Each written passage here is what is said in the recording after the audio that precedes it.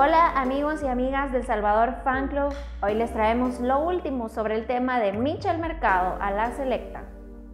Les cuento que el colombiano estuvo hoy en conferencia de prensa de Alianza previo a la gira por Estados Unidos y al ser preguntado sobre cómo marcha su proceso de nacionalización para que pueda ser elegible para Hugo Pérez y representar a El Salvador, el delantero se mostró muy triste y desanimado con las respuestas.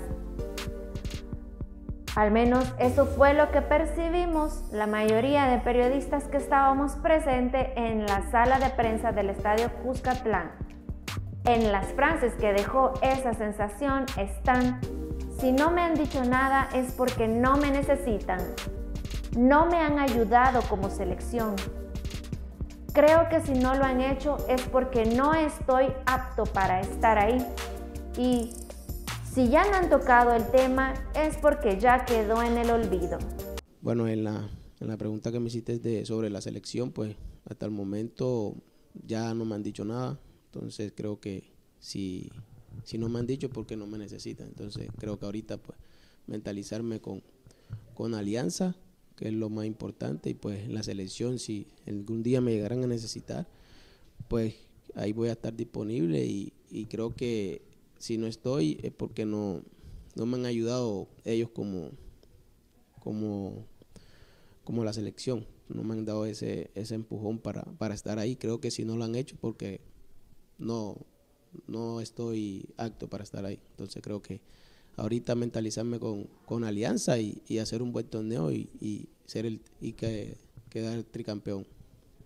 Le explicamos que consultamos días atrás a Diego Enríquez, director deportivo de la Federación Salvadoreña de Fútbol, sobre cómo marcha su caso y que él explicó que darían trámite por intermedio de la Asamblea Legislativa para agilizar su proceso, tal como sucedió con los hermanos Gil Mosquera, quienes fueron nacionalizados por decreto.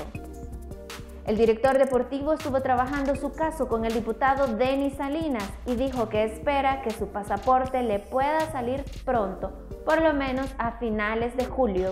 Pero la reacción de mercado fue la misma, de total desánimo y con la esperanza rota. No te comentaron nada al respecto sobre cómo va el trámite, pero tengo entendido que va a ser por esa vía, por decreto. Sí, claro, este, tener toda la razón, por eso te digo, o sea, al principio pues eh, fue así, pero llegó un momento en que ya no supe más nada de, ese tema. Entonces, por eso le vuelvo a repetir, creo que si ya no, no se tocó ese tema, ya no me han dicho nada, pues es porque realmente ya quedó así. Porque sí, me, me pidieron unos documentos, los entregué.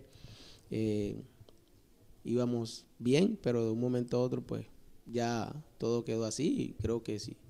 Si no me han buscado más y no me no han tocado el tema, porque realmente ya ese tema quedó al olvido, ¿no?